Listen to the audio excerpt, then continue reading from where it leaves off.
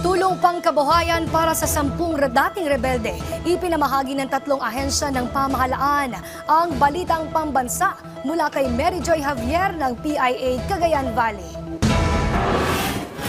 Tumanggap ng tulong pinansyal mula sa Department of Trade and Industry, National Intelligence Coordinating Agency at Philippine Army ang sampung dating rebelde mula sa iba't ibang bayan sa lalawigan ng Cagayan.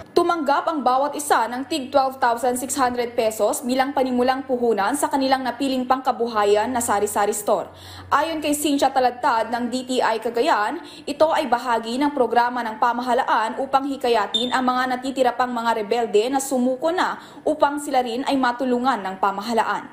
Lubos naman ang kagalakan ng mga benepisyaryo sa tulong na kanilang natanggap. Sa amin, sa akin sir, eh, papasalamat ako sa lahat ng sa military at ng mga sumuporta sa amin sir. Ah, Tinulungan kami lahat kami nung na cylinder sir. Malaking tulong to sir sir, kasi sa aming pagbabagong buhay sir. Lalo na sa pangkabuhayan.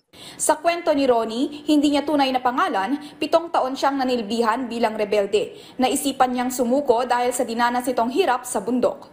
Isipang siyang sumako sir kasi yung kahirapan, gutom yung aming narana- naranasan sir. Umabot sa isang daang libong piso ang kabuang na ipamahaging tulong ng gobyerno para sa mga dating rebelde. Umaasa ang tatlong sangay ng pamahalaan na sa ganitong paraan ay maisipan na ng mga natitira pang rebelde na bumaba na at manumbalik sa pamahalaan. Mula sa PIA Cagayan Valley, Mary Joy Javier, Balitang Pambansa.